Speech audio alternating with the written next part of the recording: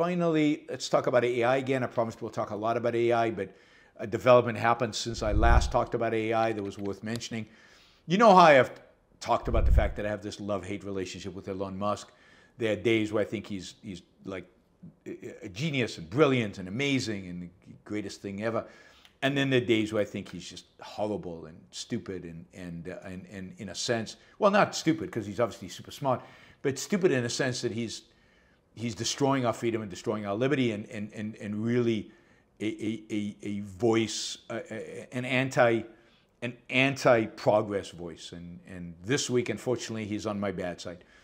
Uh, more than a thousand technology leaders earlier this week, including Elon Musk, uh, argued uh, that uh, artificial intelligence labs generally in the United States or in the world really pause development of the most, and I'm quoting, pause development of the most advanced systems. Um, and, and they wrote this in an open letter that AI tools present, quote, profound risks to society and humanity. AI developers are, quote, locked in an all in an out of control race to develop and deploy ever more powerful digital minds, minds that no one, not even their creators, can understand, predict, or reliably control. Unquote. According to uh, this is a letter, it was uh, produced by the nonprofit group's Future of Life Institute. God, what a name. Um, and, uh, you know, other people signed this. Steve Wozniak, the co-founder of Apple. I don't believe that Steve Jobs would have ever signed this. Um, Andrew Yang, uh, who was the famous uh, presidential candidate in 2020, um, uh, you know, and, and, and many, and, uh, you know, Rachel Bronson, not surprising because she's the president of the Bulletin of At Atomic Scientists, which sets the doomsday clock. Basically, they want you to pause. They want six months at least to stop, stop developing, and let's really think about this. Um, I mean, there's so many things wrong with this. Let's stop progress. Why? Because it might have a negative outcome. That's called the precautionary principle in law. The precautionary principle basically said, says that when there's uncertainty about the future, which is always about, uh, uh, about what might happen, which is always every new technology, then we shouldn't develop it. We should slow it down. We should, we should stop. We should pause. We should try to figure out what that uncertainty is. But uh, the future is always uncertain. Um, there was a Vox piece last, last, um, last week uh, calling for pumping the brakes on AI progress. The same kind of thing. That uh, AI is going to take over the world. It's going to destroy. It's going to kill all the people. It's going to it's it, it, you know all AI is biased. Of course, it's biased. We, we you know most of the stuff on the internet's biased. Where's AI learning stuff from the internet and journals and newspapers? All that's biased. It's going to learn biased stuff. Y you can't solve it by by stopping technology. Solve it by thinking for yourself. But it's this precautionary principle that has basically retarded uh, the advance of, of uh, technology in the nuclear industry. It's the precautionary principle that's retarded the advance of GMOs and, and gene editing and, and, uh, and, and, therapeutics in, gene editing therapy. It's, it's the precautionary principle that, um, that I think has, has slowed down and, and um, it, you know, for a long time slowed down the space program, for a long time it still does slow down uh, the design and development of new airplanes, revolutionary airplanes. It is generally um, it, it is what's killing progress in the world. It's what's killing economic growth. It's what's killing new technologies and new advancements that enhance human life. It is one of the most vicious ideologies out there. And the idea that, that Elon Musk missed the technology, missed the progress, missed the advance, future, futuristic stuff, is advocating for a precautionary principle on AI. It's just, it's just unbelievably sad. I mean, think of how many diseases are going to be cured because of AI's ability to, to, to model and project um, how drugs can be used or how biological systems work and what kind of treatments will work and won't work. Uh, how many lives are going to be saved by replacing us as drivers with autonomous cars, which are run by AI, which is a thousand times safer than, than you driving? Not me driving, but you driving. Uh, you know, how many, how many lives are going to be saved, even with, you know, AI helping us develop cheaper more efficient uh, and, and easier to build nuclear power plants. I mean, AI is a massive revolutionary technology that is going to, as I talked about the other day, going to increase productivity of labor, going to reduce uh, costs, going to make us richer and, and make us more prosperous. And, and these people are repeating the lies about job losses, about uh, change in society being too fast. We can't cope. It's happening too fast. That's exactly exactly what they said about computers. It's exactly what they said about the internet. It's exactly what they said about iPhones. It's exactly what they said about every, but, but, but cotton, you know, loom, what was it, uh, uh, uh, automation of, of, uh, of the garment industry in the 19th century. So it's, um, it, it really is, um, it, it, it really is just unbelievable uh, that Elon could, could sign up to something like this. It's unbelievable that people like Wozniak and other technologists are willing to sign up for something like this. Uh, it's sad. It says a lot about our culture and a lot about the world in which we live that this kind of, that their behavior is acceptable in any kind of way and, and that this goes unmentioned and unnoticed. Um, and look, the scientists developing AI are not interested in seeing the world end. This idea that you can't put safeguards into AI is ludicrous. AI is a human creation.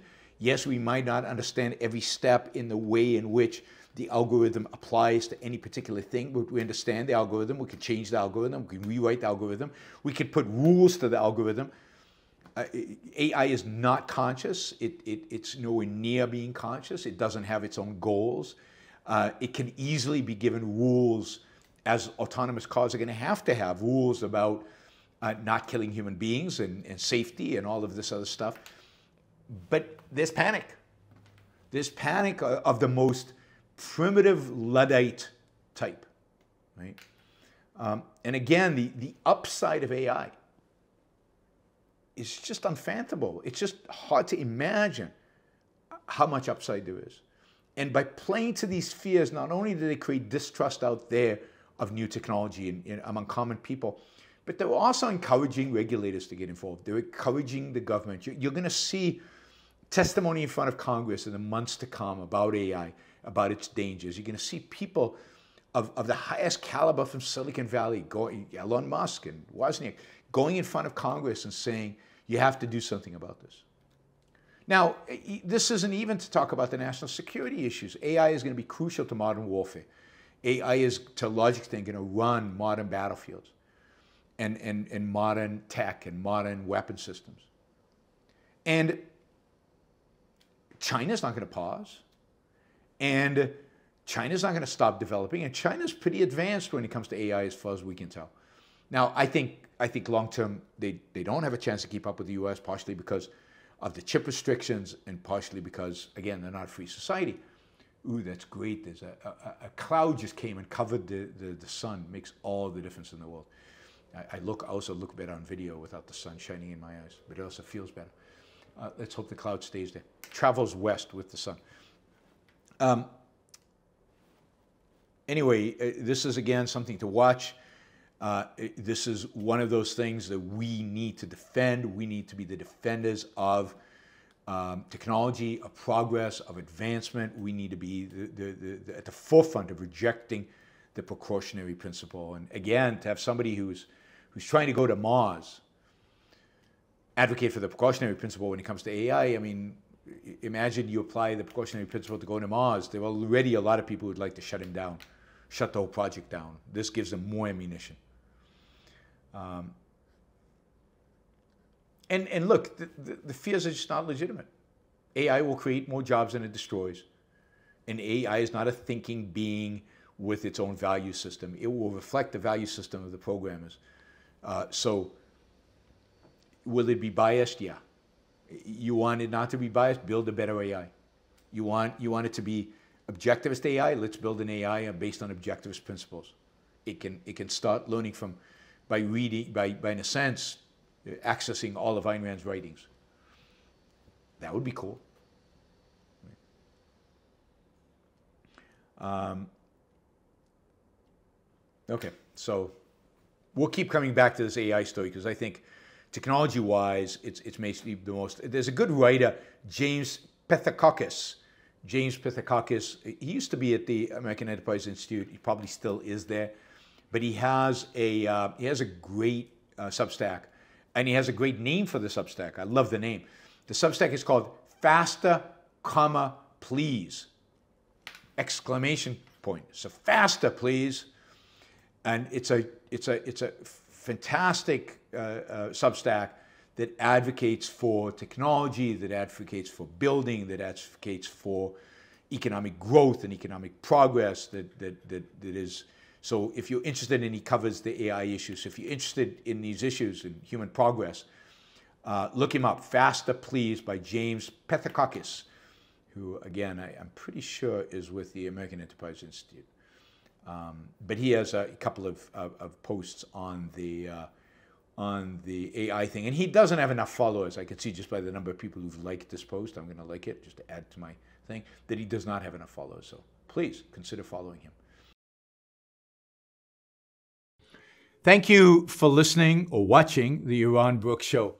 If you'd like to support the show, we make it as easy as possible for you to trade with me. You get value from listening, you get value from watching.